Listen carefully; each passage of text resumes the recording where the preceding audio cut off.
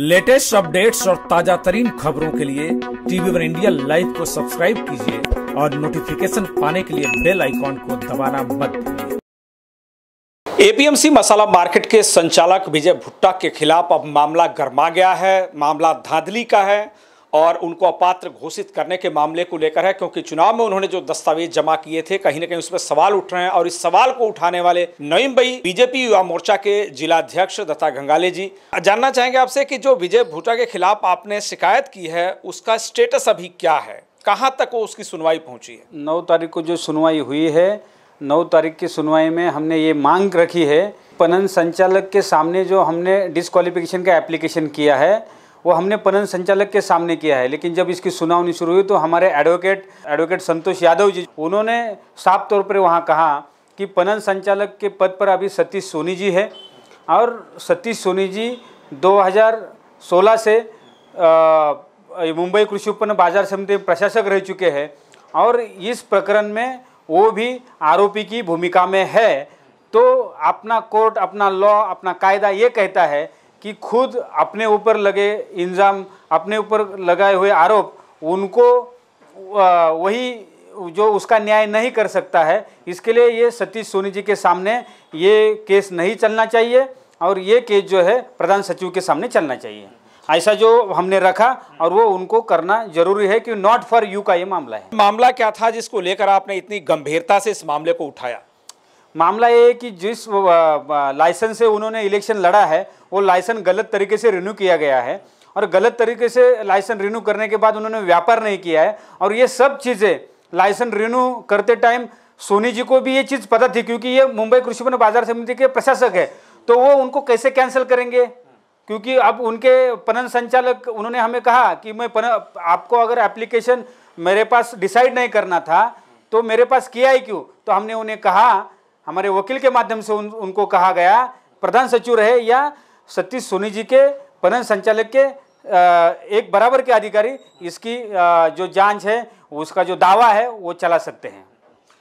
जो विजय भूता का मामला जब निकल कर सामने आया था तो बहुत ज़ोर शोर से जब वो चुनाव जीते थे, बहुत डंके की चोट पर कहा गया था कि बहुत ही ईमानदार आदमी हैं, बहुत ही अनुशासित आदमी है, लेकिन जो आपने मामला उठाया, उसमें खुले तौर पर उनके चुनावी धांधली का पता चलता है कि जो व्यक्ति पात्र ही नहीं था चुनाव लड़ने के लिए, उस व्यक्ति ने एपीएमसी संचालक का चुनाव लड़ा और वो जीता भी।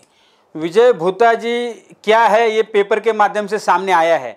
हम विजय भूता के कोई दुश्मन नहीं है।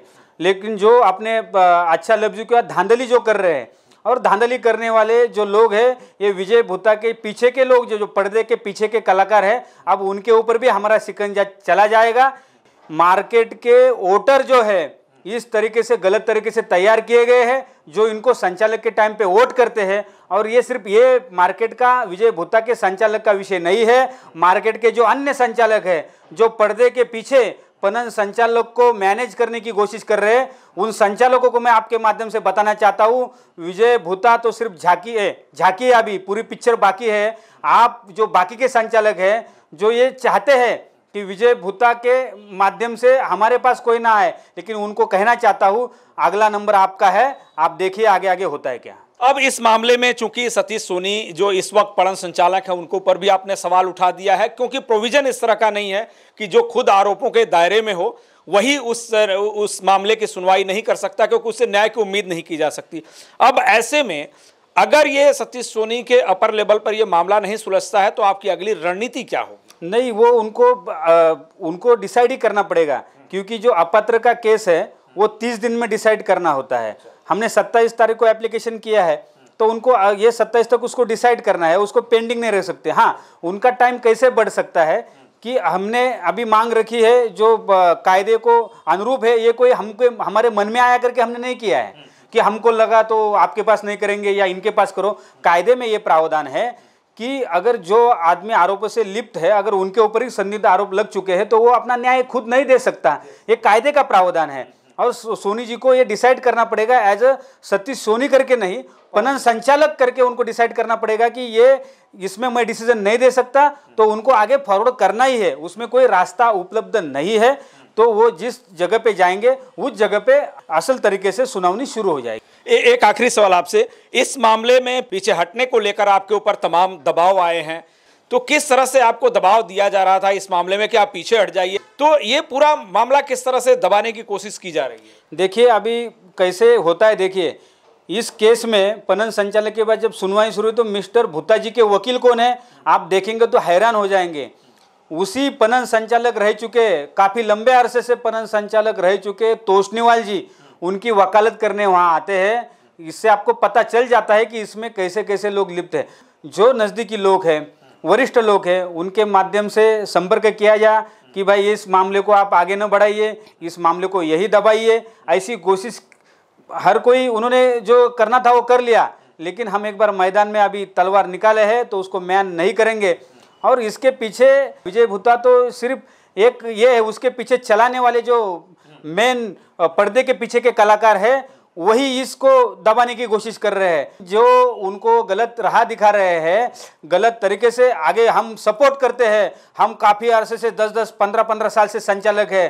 कोई डरो मत। हम मराठी है और हम मराठी, हमको मालूम है इसको कैसा दबाना है। तो हम भी कहना चाहते हैं, हम मराठी संचालकों के पीछे भी लगेंगे। तब ये मत कहना कि मैं मराठी हूँ, अरे मेरे को ही निकालने की बात कर रहे हैं। आप जो धांधली कर रहे हैं, वो धांधली चाहे मराठी हो, अमराठी हो कोई हो जो गलत करेगा उसके पीछे हम लगेंगे। जनरल तौर पर हम सुनते रहे कि महानगर पालिका चुनाव में या विधानसभा चुनाव में बोगस वोटिंग होती है।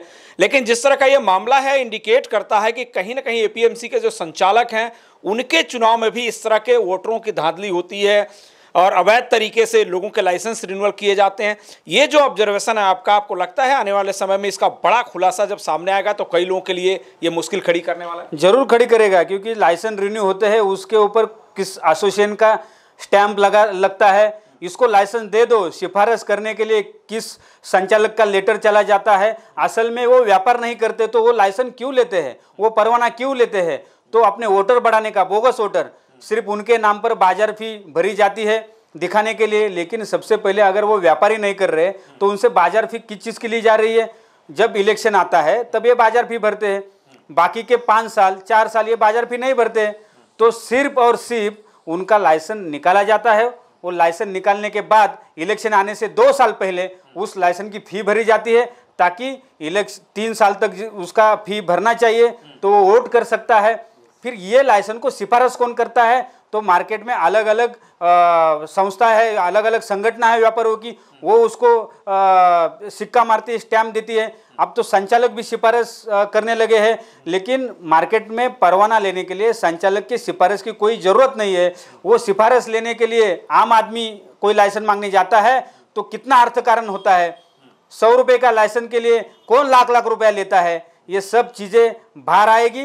और बोगस वोटरों को कैसे लाइसेंस दिया जा रहा है, ये सब चीज़ का खुलासा अगले, आने वाले टाइम में होने वाला है। बहुत बहुत थैंक यू। जैसा कि आपने सुना कि जिस तरह से एपीएमसी में अवैध कारोबार चल रहा है, धांधली चल रही है चुनाव में, और जिस तरह से विजय भूटा का मामला आया है, और जिस तरह से पूरा पड़न संचालय जो है, वो इसमें, उसमें बड़े जो अधिकारी, उच्च अधिकारी, वो भी किस तरह से उसमें ऐसे गलत चीज़ों को सपोर्ट कर रहे हैं, इसको लेकर जिस तरह से दत्ता गंगाले जी ने मुद्दा उठाया है, और जिस तरह से इसकी सुनवाई चल रही है उम्मीद की जा रही है कि आने वाले समय में इसका बड़ा खुलासा सामने आएगा और जो भी लोग इस तरह के अवैध कारोबार में और धांधली में लिप्त होंगे, निश्चित तौर पर उनका नाम भी खुलासा होगा।